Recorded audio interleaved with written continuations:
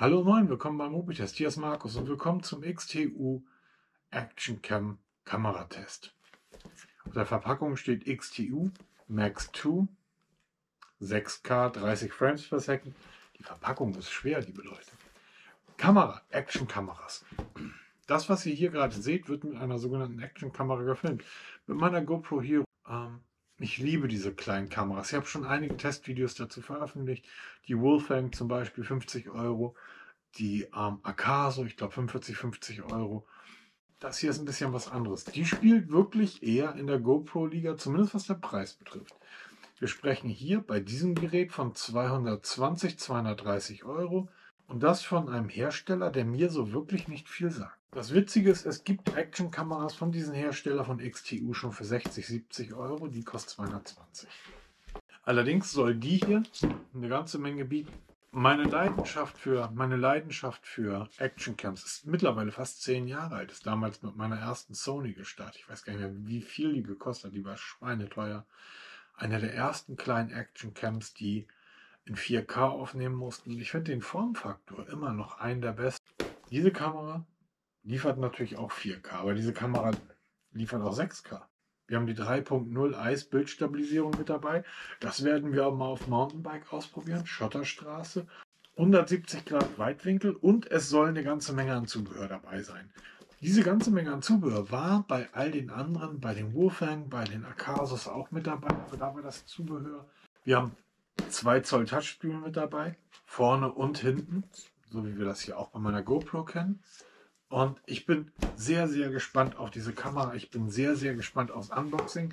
Wir werden sie uns jetzt auspacken.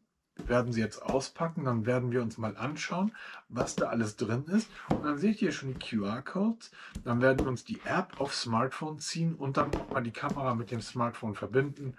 Und dann wird in zwei, drei Wochen der endgültige große Kameratest dazu erscheinen. Es gibt noch einige Besonderheiten, die diese Kamera bietet. Nachtaufnahmen. Nachtaufnahmen in einer, in einer Actioncam. Bin sehr gespannt. Zeitraffer Sonnenuntergang. Mal sehen, wenn das Wetter mitspielt. Vielleicht stelle ich mich dann einfach mal für eine Stunde in den Wald und wir machen mal eine Zeitrafferaufnahme zusammen. Auch das wird dann irgendwie auf euch zukommen. Demzufolge, wenn ihr das Ganze nicht verpassen wollt, lasst doch diesen Kanal ein Abo da. Ich würde mich freuen. Und jetzt Fangen wir mal an auszupacken. Und wir haben es hier mit einem Sony. Das Sony EMX 577 Objektiv ist hier verbaut. Ich bin sehr gespannt, wie die Kamera sich anfühlt und ähm, wie hochwertig die Verarbeitung dieser Kamera wirkt. Da bin ich wirklich sehr, sehr gespannt drauf. Und dann dürfte das hier das ganze Zubehör sein.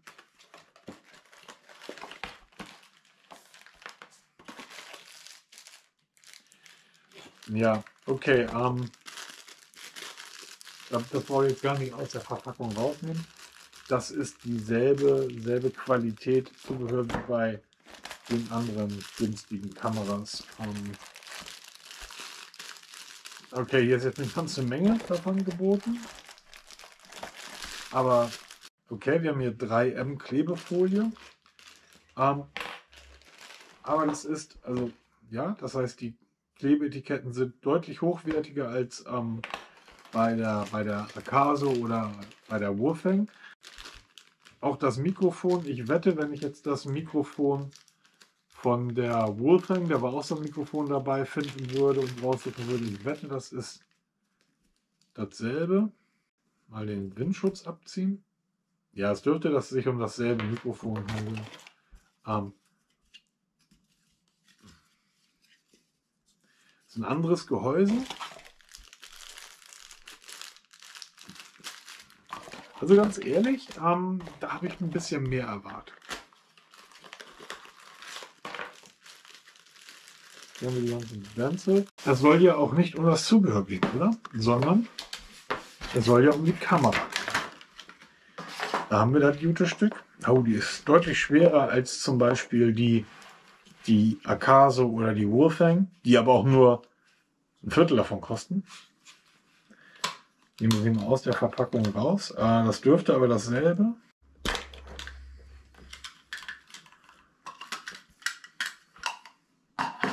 Der Akku. die Anschlüsse. USB-C. Na, hier haben wir das Mikrofon. Okay. Da ist der Schacht für die MicroSD-Karte und da ist eine MicroSD-Karte schon eingebaut. Und das ist natürlich spannend.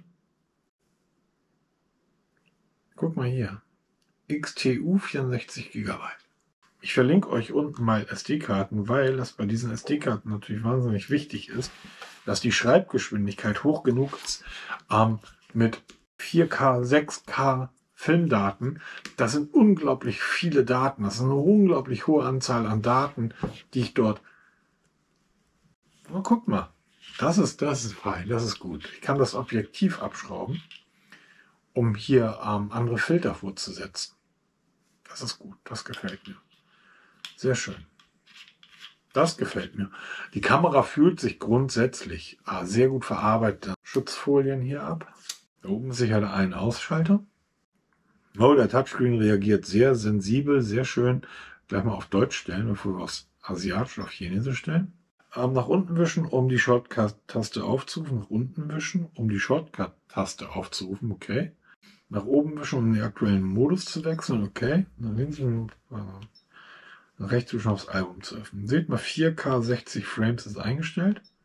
Wir haben hier einen Digital-Zoom dabei. Tatsächlich, wir können zoomen. Wir haben hier Indikatoren. Ups. Normales Video, Zeitraffer, Zeitlupe, Autolooping, Unterwasser, Quick Stories, Videofotos, Nachtmodus. Ähm, wenn ich hier drauf drücke, 4K 60 Auflösung, 4K 6K 30, 4K 30 4 zu 3, das ist natürlich super. 4K 30 Superview, 4K 30 HDR, ist eine ganze Menge geboten. Gyro Eyes aus, ja, können wir einschalten, sobald wir irgendwo unterwegs sind.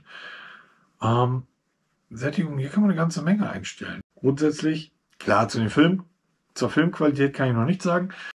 So, eine Sache, die mir bei der GoPro super gut gefällt, ähm, die mir hier ein Stück weit fehlt.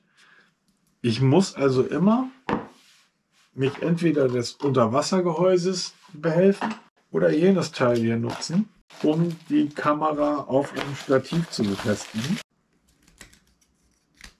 Schiebt man so raus, okay.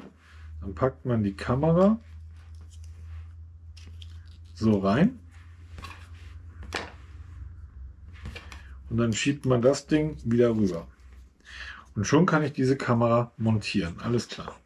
Das finde ich ganz gut gemacht. Seht ihr, dass, mal, dass man hier, obwohl die Kamera im Gehäuse eingesperrt ist, an den USB-C-Schacht rankommt. Warum finde ich das ganz wichtig? Weil ich ein externes Mikrofon habe, jenes hier. Und das werde ich gleich mal gucken, ob ich das auch hier anschließe. So, da ist die App installiert. Anweisung zur Beantragung einer Genehmigung. What, what, what, what? So, streichen Sie schnell. Tippen Sie auf das WLAN-Symbol, um WLAN zu aktivieren. Nächste. So, Verbindung erfolgreich hergestellt. So, da sehen wir die Kamera. Wir können jetzt hier starten. Was mich natürlich hier haben wir Einstellungen. Das heißt, wir können hier die Kameraeinstellungen durchführen. Ich würde jetzt eigentlich ganz gerne Firmware aktualisieren. Firmware Update. Oh, jetzt läuft hier ein Firmware Update. Das ist natürlich auch spannend. Okay, das ist spannend. Ähm, es, diese Taste, die hier, drei Sekunden gedrückt halten. Eins, zwei, drei. Und jetzt sollte der Frontdis das Frontdisplay funktionieren. Ähm, okay. Dann wechseln wir mal die Kamera, oder?